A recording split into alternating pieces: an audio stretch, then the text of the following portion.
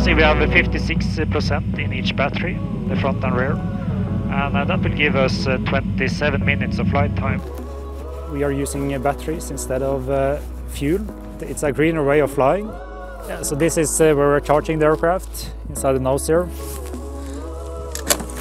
And uh, yeah, it's just like a car. It takes approximate uh, one hour to charge the aircraft and then we can fly for approximate 45 to 50 minutes. It's a silent aircraft. If you're looking from outside, it's really hard to even hear that it's an aircraft flying there. Did you know that Swedish inventors were trying to find a way to fly already in the 17th century?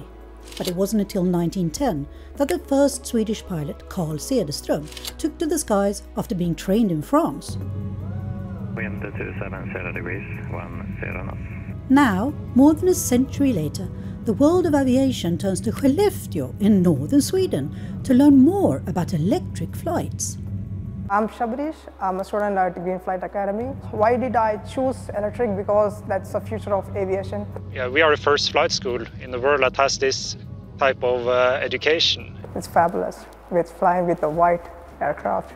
So why northern Sweden? We have uh, in the winter really cold weather and in the summer it uh, can be really hot. So we can try then this aircraft in a lot of different uh, climates. This is a new step in aviation and we need to, to find out how uh, batteries and uh, electric aircraft will behave and see the possibility for the future in commercial aviation.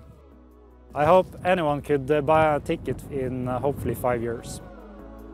It's my childhood dream. So hereafter, uh, probably uh, I'll be fly up in the sky and shine like a star.